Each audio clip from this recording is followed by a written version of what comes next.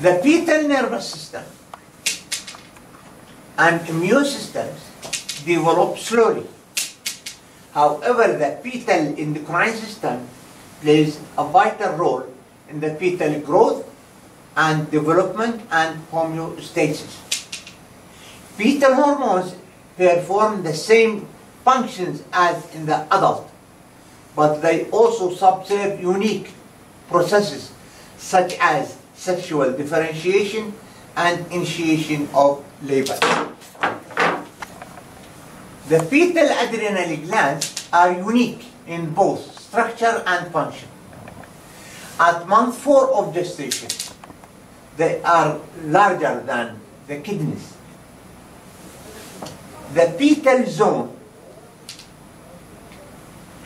the fetal zone produces a large amount of dehydroepiandrosterone sulfate and provides androgen precursors for the estrogen synthesis by the placenta.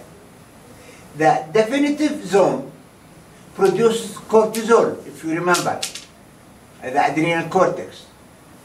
The cortisol has many functions during the fetal life, including promotion of the pancreas, lung maturation, and the induction of the liver enzymes, the promotion of intestinal tract cytodifferentiation. The adrenal medulla develops by about week 10 and is capable producing epinephrine and norepinephrine. The rate of fetal growth increased significantly during the last three months of pregnancy. Surprisingly, growth hormone of maternal placenta or fetal origin has little effect on fetal growth as judged by the normal weight, hypopituitary, dwarfs or anencephalic fetuses. Fetal insulin is the most important hormone in regulation fetal growth. Glucose is the main metabolic fuel for fetus. Fetal insulin produces by fetal insulin produced by the pancreas by week 12 of gestation. Regulates tissue glucose use, controls liver glycogen storage, and facilitates fat deposition. It does not control the supply of glucose. However, this is determined by maternal gluconeogenesis and placental glucose transport. The release of insulin in the fetus is relatively constant. During pregnancy, the uterus is inactive, quiescent, under the effect of progesterone and relaxin. Weak and irregular uterine contractions occur throughout the last month of pregnancy. Eventually, a series of regular, rhythmic, and forceful contractions develop. These may last for several hours, day, or even longer, and eventually result in the expulsion of the fetus, placenta, and membranes. Although not all of the factors leading to the initiation of labor are known, endocrine, paracrine, and mechanical stretching of the uterus all play a role. Once labor is initiated, it is sustained by a series of positive feedback mechanisms. This figure shows the endocrine regulation of parturition, delivery. You see, when the delivery begins, ACTH hormone level increases from the fetal pituitary. It means that this hormone has role in the initiation of the delivery. When this hormone increases, it affects the fetal adrenal cortex.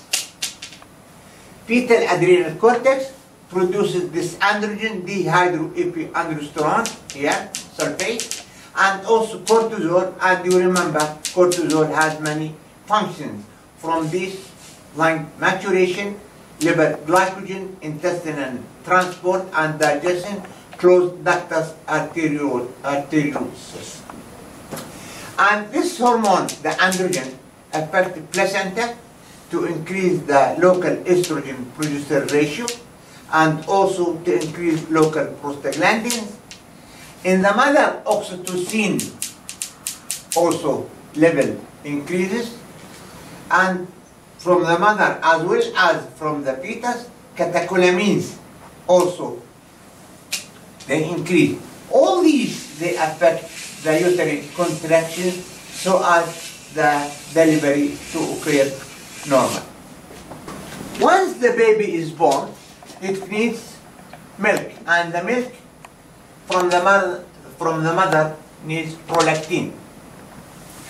Estradiol modulates prolactin release in two ways. First, estradiol increases the sensitivity of the lactotrope to stimulation by TRH. Second, estradiol decreases the sensitivity of the lactotropes to the inhibition by the dopamine. If the mother does not nurse her young, prolactin levels generally fall to non-pregnant levels after one to two weeks. But if the mother does not does sorry, if the mother does breastfeed, increased prolactin secretion is maintained for as long as suckling continues. Suckling inhibits the ovarian cycle. Lactation generally inhibits cyclic ovulatory function. Suckling likely reduces the release of gonadotropin releasing hormone by neurons in the nucleus and preoptic area of the hypothalamus. However, if the mother continues to nurse her infant for a prolonged period, ovulatory cycles eventually resume. In breastfeeding Bangladesh women, the period of an ovulation averages 18 to 24 months. If the mother does not nurse her baby, after delivery, ovulatory cycles resume on average 8 to 10 weeks after delivery, with a range of up to 18 weeks. Oxytocin and psychic stimuli initiate milk ejection. Infertility affects one of five women in the United States and also in the other world. Thorough understanding of female endocrinology, anatomy, and physiology is critical to gaining insights into solving this major health problem. Several factors can cause infertility. Environmental factors, disorders of the central nervous system, hypothalamic diseases, pituitary disorders, and ovarian abnormalities can interfere with the follicular development and or ovulation. If a normal ovulation occurs, structural, pathological, and or endocrine problems associated with the oviduct and or uterus can prevent fertilization, impede the transport or implantation of the embryo, and ultimately interfere with the establishment or maintenance of pregnancy. The most common cause of female sterility is failure to ovulate. These are the contraceptive use and efficacy rates in the United States. Methods, estimated use, and accidental pregnancy in one year. First method, pills, hormones. Let us just have an example of the pills either combined, progesterone and estrogens or progesterone only or emergency pills high dose of estrogens and progesterone or depot or implant. Almost the uh, pills they prevent the ovulation. And for the emergency inhibit implantation. You see pills are very effective. Above 95 second met- method female sterilization tubal ligation estimated use 19.4 accident. Condom, male sterilization vasectomy, diaphragm, sperm barriers, spermicides, sperm killing chemicals, rhythm, we'll talk about it, and inter, intrauterine device, equipment inserted into the uterus to prevent the implantation. You see intrauterine device, an object placed into the or in the uterine cavity prevents implantation. But this is conditions. The woman uses this method, she should have at least one child. Otherwise, he- she will be used to not to have children. Now we'll talk about the rhythm method, the timing. This is very important. Now we'll see the importance of this method or using this method. This is the duration of the ovarian cycle or uterine cycle. The regular or most of the women they have this cycle 28 days. You remember ovulation occurs at day 40 and we said that sperms and ovum two days. If the sexual intercourse occurs between the husband and wife before the ovulation the sperm can survive in the female reproductive system for two days and we give one day extra. And if the sexual intercourse occurs after ovulation, also the ovum can remain capable of accepting the sperms for two days and we give one day extra. It means that from 11 to, to 17 day of the 28th cycle, if the sexual intercourse between couples occurs, then pregnancy may occur. Then, if the couple does not want to have children, they have to avoid this unsafe period. But if they want to have child, they have to stick to this unsafe period. Always after ovulation, 14 days. Therefore, between the end of the cycle and ovulation, this duration does not change. And the day after 17, 17 to day 28, the pregnancy does not occur. This is called safe period.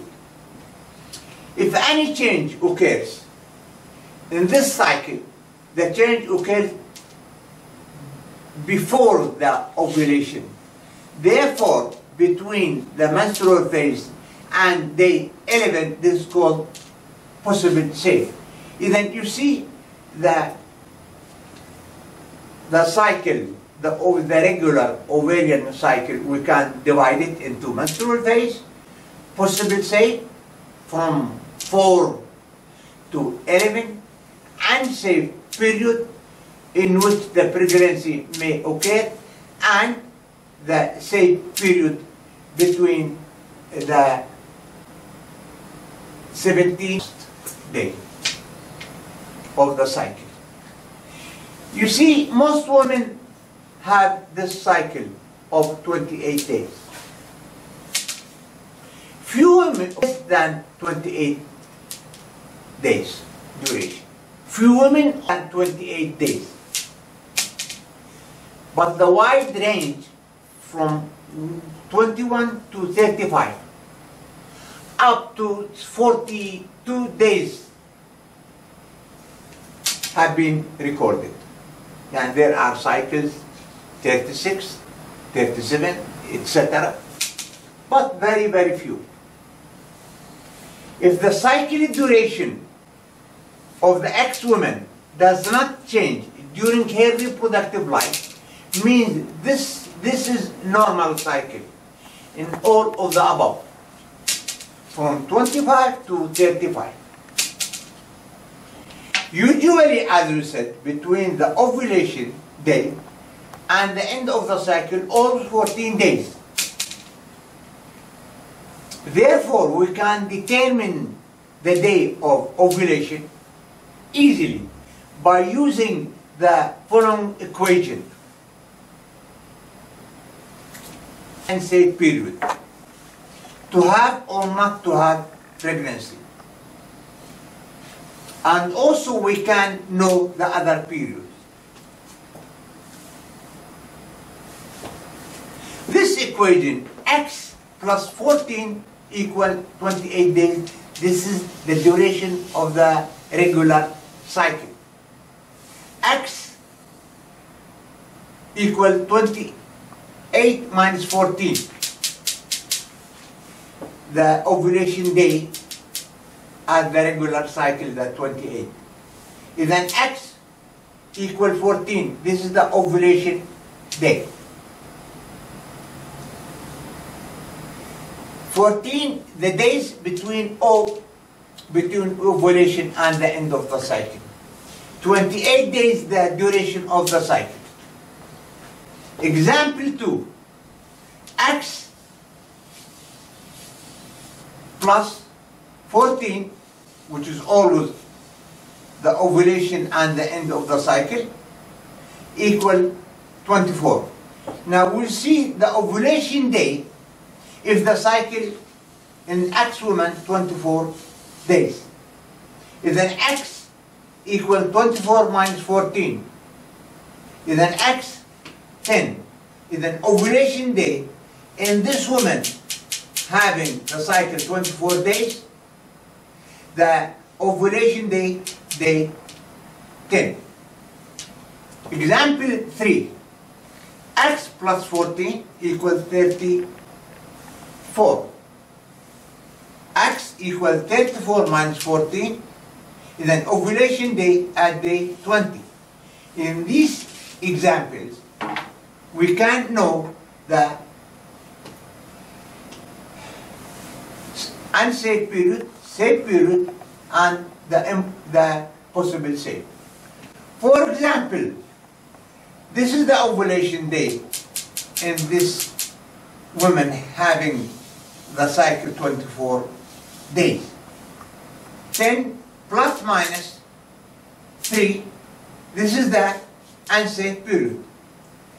After 13 safe period, before 7 possible safe. And here, the 20 ovulation day. Tw- 20 plus minus 3, 17 to 23, the unsafe. After 23, the safe, and before 17, the possible safe. Just to have an idea about the hormonal therapy for ladies and maintaining beauty. Hormonal therapy for ladies is necessary throughout all stages of life, especially after age of 50, specifically in these cases. First, for normal, to maintain the density of bones and stop osteoporosis. Second, to maintain beauty and prevent wrinkles. Three, for treatment of extreme facial and body hair. Four, for the low desire for sex compared to spouse. Five, for maintaining the size of breast and preventing atrophy, especially in the menopause. To, to prevent urine incontinence and ladies, sorry, in ladies, Alzheimer and amnesia.